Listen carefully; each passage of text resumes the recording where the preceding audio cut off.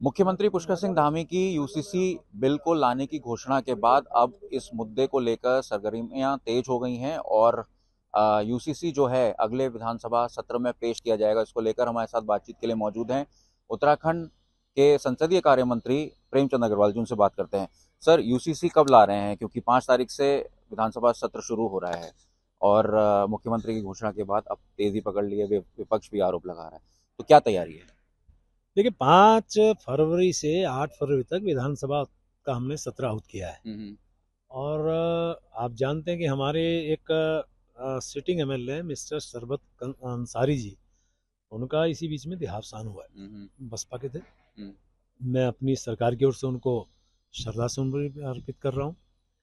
उनको श्रद्धांजलि देने का काम पूरा सदन करेगा तो पहले दिन तो जो परंपरा रही है तो उसको हम लोग स्थित करेंगे सदन को।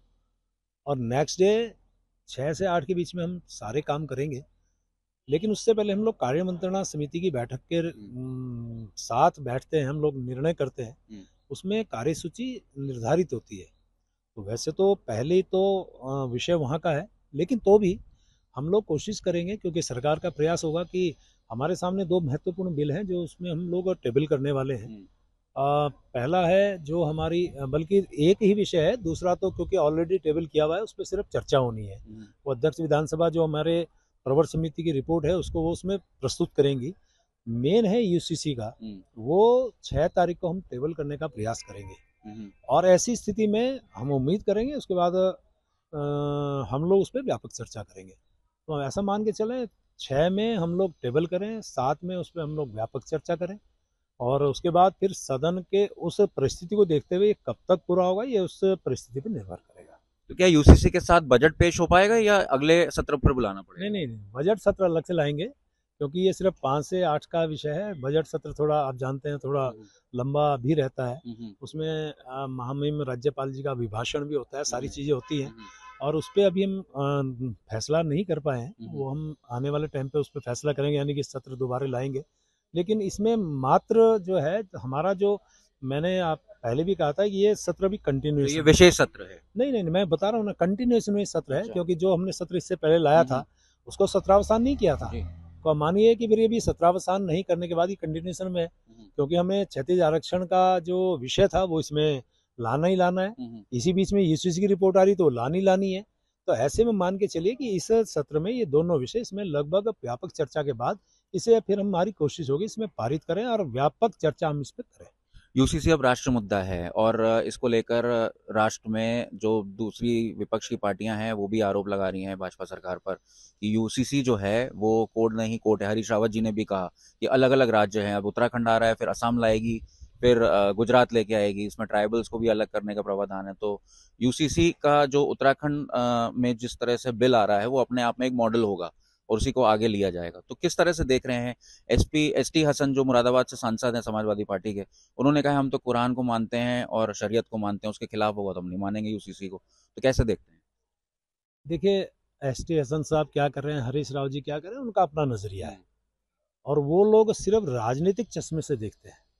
उनको सिर्फ़ और सिर्फ़ एक धर्म की राजनीति करनी होती है।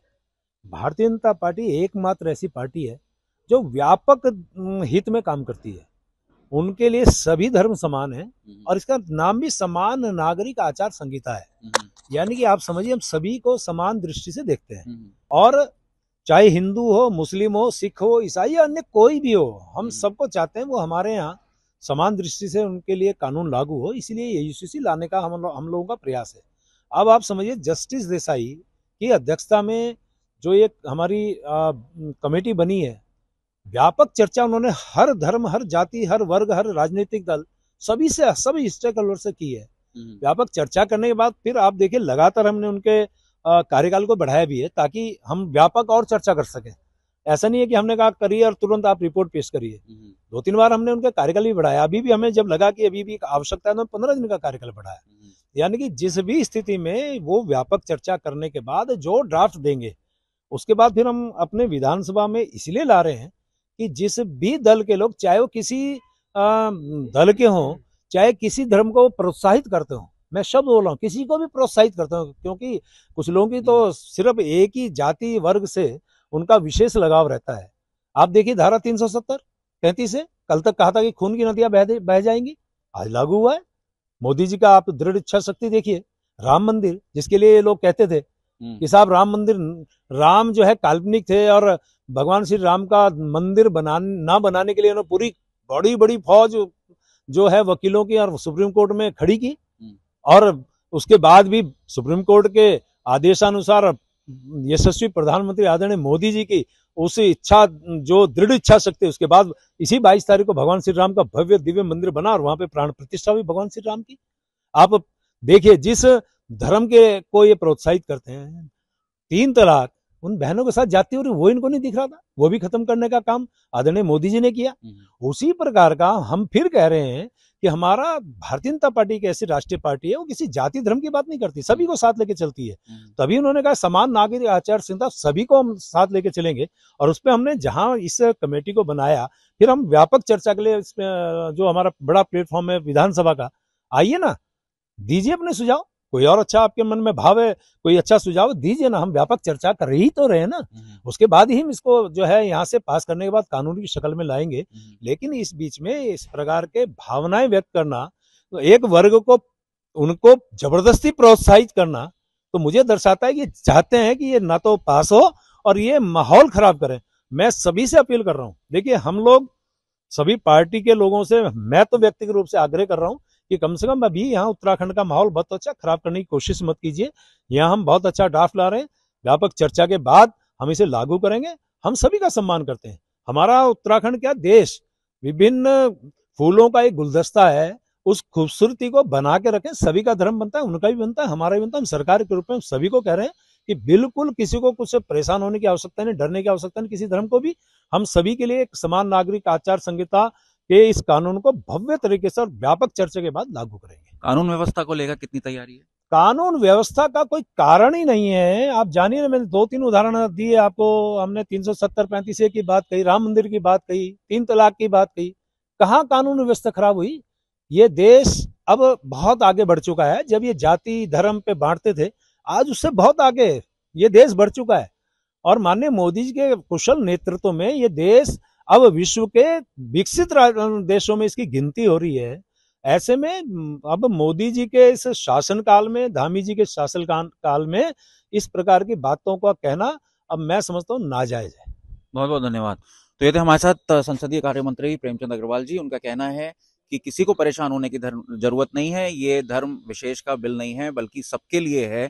आपको बता दें कि यूसीसी बिल की घोषणा मुख्यमंत्री पुष्कर सिंह धामी ने हाल ही में की है। दो तारीख को ड्राफ्ट जो है, वो सरकार को दिया जाएगा और इसके बाद पाँच तारीख को सदन बुलाया जा रहा है। पाँच तारीख को जो है एक विधायक के निधन पर उनको श्रद्धांजलि दी जाएगी और इसके साथ छह तारीख को यूसीसी बिल टेबल पे रखा जाएगा। दो लाख साठ हज़ार से ज़्यादा सुझाव आए थे। अड़तीस मीटिंग यूसीसी कमेटी ने करी थी। पाँच सदस्य ये समिति है जिसकी अध्यक्षता जस्टिस रंजना देसाई कर रही हैं। पूर्व सुप्रीम कोर्ट जज और उनकी अध्यक्षता में ये कमेटी जो है, वो अपनी रिपोर्ट सौंपेगी और मुख्यमंत्री पुष्कर सिंह धामी इसको सदन में रखेंगे। देहरादून से अंकित शर्मा, आज तक।